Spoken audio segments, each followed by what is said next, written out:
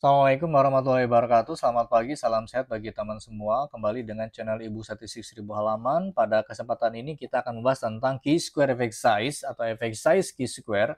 Ada seorang mahasiswa bertanya bagaimana cara mengukurnya tentang effect size key square dan menurut hemat kami Key square effect size ini tidak perlu lagi dilaporkan di dalam SMPLS, baik skripsi, tesis maupun disertasi, karena sudah tidak relevan lagi ukuran ini digunakan untuk menggambarkan tentang akurasi prediksi atau predictive relevan. Sekali lagi kita akan membahas tentang key square effect size yang tidak ada di dalam Higher et al 2022 dan sebaiknya tidak perlu dilaporkan di dalam SMPLS. Kalau masih ada yang melaporkan kampus-kampus berarti tidak update ya tidak update informasinya tentang SMPLS dan masih melaporkan effect size ini. Oke, kita lanjutkan. Jangan lupa untuk subscribe di channel Ibu Statistik 1000 halaman, mudah-mudahan memberikan kemanfaatan. Jangan lupa sekali lagi untuk subscribe ya. Nah, Hire et al. pada tahun 2017 menulis suatu ukuran statistik untuk mengatakan apakah model kita memiliki kinerja prediksi yang baik atau predictive relevance atau akurasi prediksi ini dengan dua ukuran, yaitu key square blind folding procedure yang ini dan effect size key square ini. Ya, referensinya ada di mana? Referensinya ini. Kami tunjukkan dulu referensinya. Hire 2020 2017 ini. Effect size key square ya masih menggunakan ini dan menggunakan prosedur yang disebut sebagai blind folding procedure ini prosedurnya blind folding prosedur. Jadi blind folding prosedur itu Anda memiliki 100 data, 100 responden, lalu dibagi 7. 1, 2, 3, 4, 5, 6, 7. 1, 2, 3, 4, 5, 6, 7. 1, 2, 3, Lalu sem, uh, responden urutan pertama hilang diprediksi oleh sampel kedua sampai 7. Gantian, sampel kedua hilang, kemudian diprediksi yang lain-lainnya. Maka dikatakan itu namanya blind folding prosedur atau predict relevant key square ya pada tahun 2017. Ini bukunya Hire tahun 2017 nih yang saya tunjukkan di dalam uh, video kali ini. Kemudian dia menulis lagi effect size. Nah, dipakai di kampus-kampus tentang effect size key square dan cara menghitungnya seperti apa. Nah, tetapi pada tahun 2022 nah, ya sekali lagi ini 2017 masih menggunakan key square blind folding procedure dan effect size key square ya ini harus dihitung secara manual rumusnya seperti ini key square included key square excluded dibagi satu min key square included seperti ini agak ribet kalau ngitungnya kayak begini ya. Dan pada tahun 2022 Hire sudah tidak menggunakan lagi key square blind volume dan effect size key square tidak digunakan lagi di Hire 2022 lalu diganti penggantinya ini namanya key square predict relevance untuk memperbaiki kinerja prediksi model dari model Q-square blind polling prosedur dan ditambahkan oleh PLS Predict dan CVFAT. Jadi pada tahun 2022 Hire menggunakan Q-square Predict dan PLS Predict serta CVFAT. Ya, jurnalnya ada di mana? Bukunya ada di mana? Ini bukunya. Oke, nah ini tentang CVFAT. Satu CVFAT ada ya di Hire 2022 ditambahkan a further development a prediction oriented kami gunakan CVFAT kata Hire. Ya, jadi pengembangan lebih lanjut untuk mengatakan apakah model kita memiliki daya prediksi predictive power yang tinggi atau yang medium minimal, maka digunakan CP4.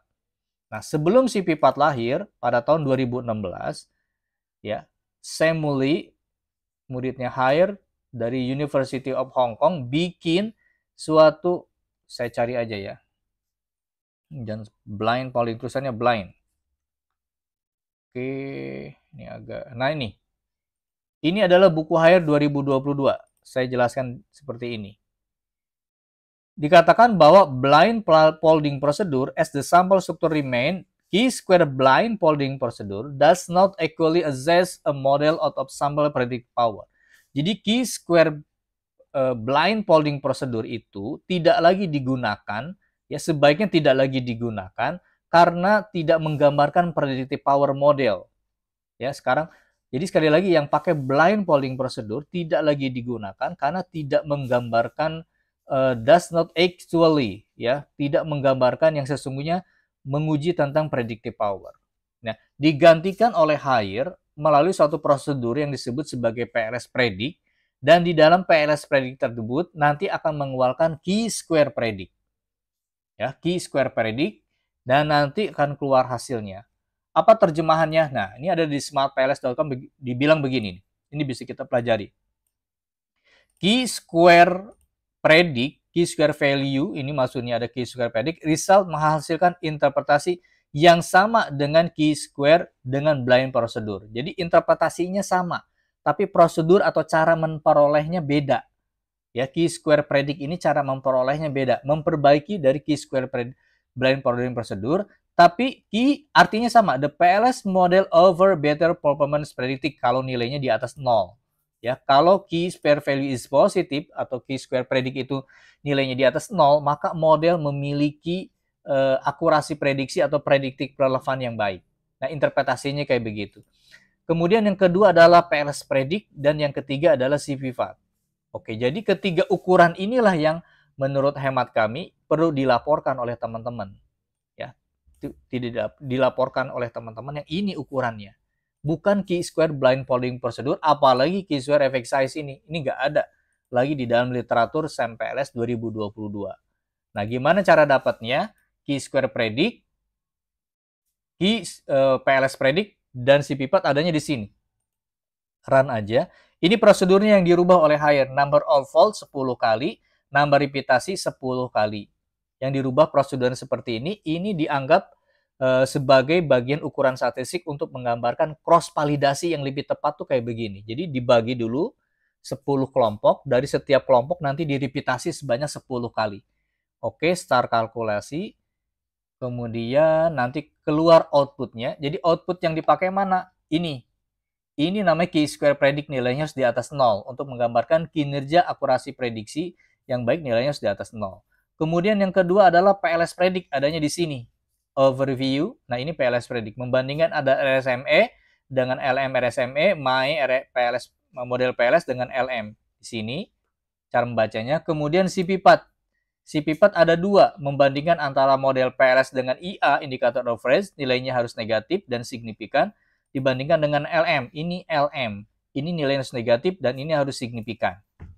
Oke, jadi kami simpulkan sekali lagi, untuk HIR 2022 tidak digunakan lagi key square blindfolding dan tidak digunakan lagi efek size key square, tapi diganti metodenya dengan yang lebih relevan, lebih baik, yang disebut sebagai key square predict, PLS predict, dan CVFAT untuk mengatakan apakah model kita memiliki daya prediksi yang diterima apa enggak. Nah, tiga ukuran ini yang sebaiknya menurut hemat kami dilaporkan di dalam e, laporan PLSM, skripsi, tesis maupun dissertasi maupun jurnal. Nah, oke, okay, dalam membuat laporan skripsi, tesis, jurnal, key square blind ponding effect size tidak sebaiknya tidak dilaporkan lagi karena sudah tidak relevan menggambarkan cross validasi dari akurasi prediksi dan predictive power dan diganti dengan key square predict, PLS predict, dan CVVAC. Oke, terima kasih. Mungkin itu yang bisa kami sampaikan pada publik. Ingin memiliki e-book statistik seribu halaman, sekali beli gratis seumur hidup. Mudah-mudahan memberikan kemanfaatan bagi semuanya. Terima kasih. Wassalamualaikum warahmatullahi wabarakatuh.